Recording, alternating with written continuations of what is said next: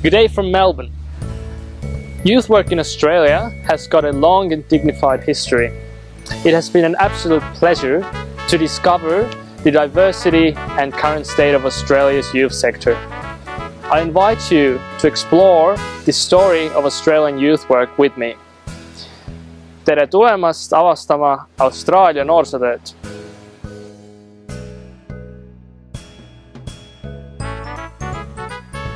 Historically in Australia, youth work has been external and it's been working with marginalised young people. Yeah.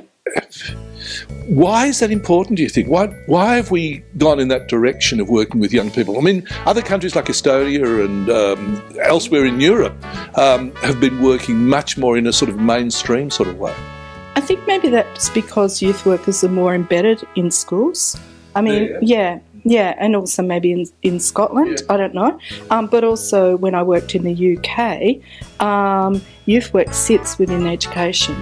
So um, youth works run, you know, you don't have state governments, so local government um, looks after education, and youth work sits within that. So I suppose that's similar to Scotland, whereas that isn't isn't how um, in Victoria, Australia, that's it. And in fact, we've historically argued that every time there's a change of government, we can tell how they look at youth work because of where they put it within the ministries. Yes. And so that, for example, if it is seen as being an unemployment issue, a problem, then it's within Labor.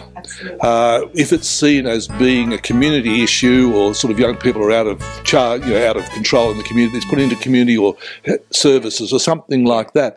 But it's constantly been seen as being young people as problems. To hmm. some extent. The equity word is really important because it means about not working with those kids who are already advantaged and putting themselves forward and are skilled already, but consciously looking at systems to say what is it about what we do hmm. and what about other people around us and structures around us do that excludes and marginalises some young people and how can we overcome that? Yeah, and I think youth work led by human rights in, in that context, and youth work being around social equity, um, social justice, I think still has strong resonance um, for our work. The other issue about equity, I guess, is the traditional work in um, youth work, and there's been a tension around this, has been as to whether it's worked with those at risk young people, those people on the margins, or whether it has worked with all young people. And certainly there's been pushes from various state governments to central youth bodies to say you work with all the young people out there, not rather than at, at risk. Yeah. Again, how do you? Has that been something new? Has that moved over time? Do you think? I think it's not and or or. I think it's where the focus is at times, depending on what funding's available or um, what state, you know, what the flavour of the state government or the feds are.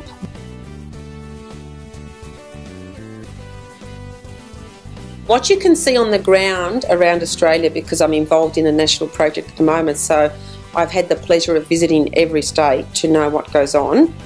We are, you know, we are very lucky in, um, in Victoria for many reasons. We have professional youth work courses. We have institutions and academics who are involved in youth work, involved in the community, which means that there is always a voice around doing youth work. In some other states, that doesn't exist. So it means that even multicultural youth work doesn't exist because there's no there's no framework in which that's based in. Um, so so in so in the other states, I think it is varied. I think that generally the um, mainstream community or your you know local citizen in the community. You know if if um, we're running programs in their local community and we talk about issues around the young people we work with they are very interested and um, committed because there is a general belief that young people contribute to the society and they want to make them settle. Look that's not to say that some people in the community think that you know a lot of migrant refugee young people are a problem and that we're importing problems from overseas. That exists. But I would say that that exists less than what people think, and that I think there is a very loud voice of people who say that. But in reality, our experience on the ground is that people are very welcoming generally and want to and want to help and support but don't know how to do it. So that's where organisations like ours become important because we're often the broker or the vehicle to connect the young person to the community. Often the young person wants to connect and they don't know how because they're new to the country, don't know the systems, don't have the networks, don't know how to link. So we do that, and it's vice versa. There's lots of community adult services who say, I want to help, but I don't know how to do it either. And I don't know how to find young people. And we go, boy, we have hundreds of young people who want to be connected, so we try and match them.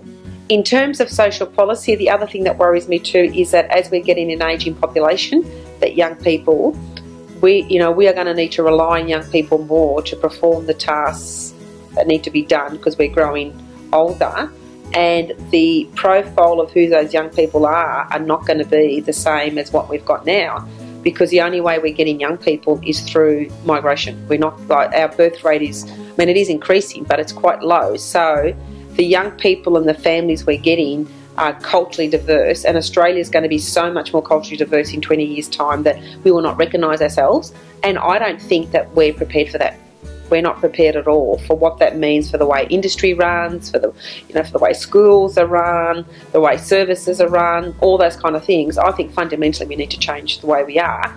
So that means that um, we need to think about how we train youth workers to work with young people. One of the challenges for youth work in our sector is getting to explain what youth work is to communities where cultural groups where they come from countries where youth work doesn't exist. So if you come from a European country, there is some understanding of, you know, there is a profession that works with young people. But a lot of the countries in which we source our migrants and refugees through Asia, the Middle East, and Africa, it doesn't exist. So one of the challenges for us has been is how do you legitimise and make this an industry where it's attractive to young people to want to be involved. Baden Powell was the only successful British general in the Boer War. He successfully defended the siege of Mafeking and he used young people as scouts to run around the town uh, taking messages and communications and so forth. And when he founded his Scout movement, he very much um, had in mind uh, preparing young people uh, for military service, to give them the sort of skills that they needed. Uh, because the Boer War had found that uh, the, the recruits were very unfit, unhealthy, to the extent that, uh, for instance, they, might, they often had bad teeth. And you needed good teeth in the army because you had to eat hard tack hard biscuit and, and, dried meat and so forth to be able to survive. So, uh, Baden Powell once said that a well trained scout has the skills of an army sergeant. So he very much had that sort of thing in mind, although the scout movement broadened its uh, aspects and the guide movement uh, moved in rather different directions when that was established. Baden Powell didn't intend to to uh, found the guides, uh, girls turned up to some of his rallies and he was astounded. So he got his sister to, to found a movement that would be more appropriate. So, um, so that there was quite a, a significant issue uh, that ran through.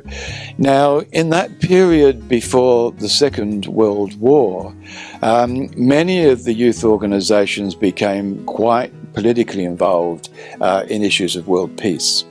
Uh, there were international peace congresses that Australians attended, uh, often significantly from the YMCA, the YWCA, and the Communist Youth League. And those organisations, believe it or not, worked very well together um, to the extent that sometimes there were criticisms from government about the YMCA being puppets of the communists and so forth. Now, that um, uh, led to the establishment of an Australian Youth Council in the late 30s, uh, which the government abolished uh, at the beginning of the war on national security grounds and so forth. So I won't get into a lot of the detail there, but uh, there are, are, some important uh, issues that ran through, and it's interesting to note how the Scouts in association with the Catholic organisations, became part of that very anti communist movement, which was played out in the youth scene um, as in the political scene in Australia uh, with the uh, split of the Labor Party. Uh, with the Democratic uh, Labour Party being the right uh, move away on the grounds that the Labour Party wasn't sufficiently anti-communist, and and the whole um, communist uh, abolition referendums that Menzies introduced, and, and, and all of that uh, high political stuff was played out in the youth sphere.